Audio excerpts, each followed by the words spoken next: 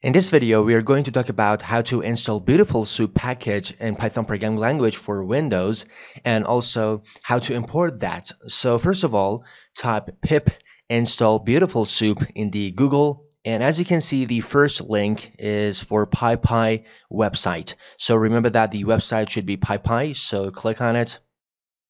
And as you can see, the Beautiful Soup is a library that makes it easy to scrape information from web pages. And in order to install this package, you should copy this. So I click on it and you can see that it has been copied to my clipboard. And now in order to install the Beautiful Soup package, press the Windows plus R key on your keyboard. So that's it. And then here you should simply type CMD. It stands for command window.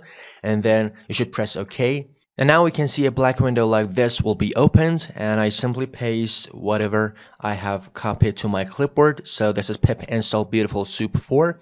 And remember that this is the name of package and you should make sure that you have internet connection and then you should press enter First, it is going to download the package, then it's going to install the package. So as you can see, the package, I mean the beautiful soup, has been successfully installed. So now I close this. And now in order to import the beautiful soup package in Python, so I should simply type import bs4. Remember that the name of that is bs4 when you are importing the package. But this is not a weird thing in Python. For example, we have other packages. For example, we have a package called scikit-learn, but we import that package as sklearn. Or also we have other packages, like for example, we have a package called OpenCV, but we import CV2. So this is very normal. So the complete name of the package is Beautiful Soup, but we import that as BS4.